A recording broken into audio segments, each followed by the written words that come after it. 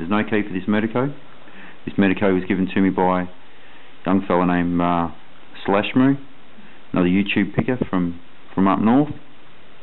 Uh, we've got three key pins, three driver pins, no springs for the back three chambers.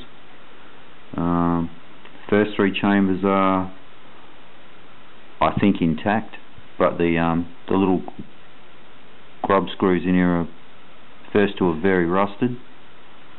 And uh, third one doesn't look that bad but um, my main question was to all the Medeco gurus out there um, do you think it'd be worth a go at trying to get this lock uh, resurrected?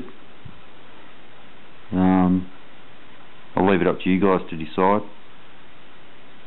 I wouldn't even bother taking this to a locksmith here anyway but um, yeah, I actually I wouldn't mind getting it going myself. But like I said, no key. So uh, if somebody wants to have a go at getting it going, I'll be happy to uh, come up with some little uh, payment or prezi.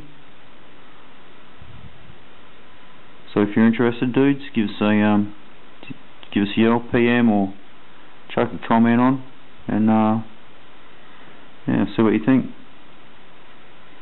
Alright. Have a good one.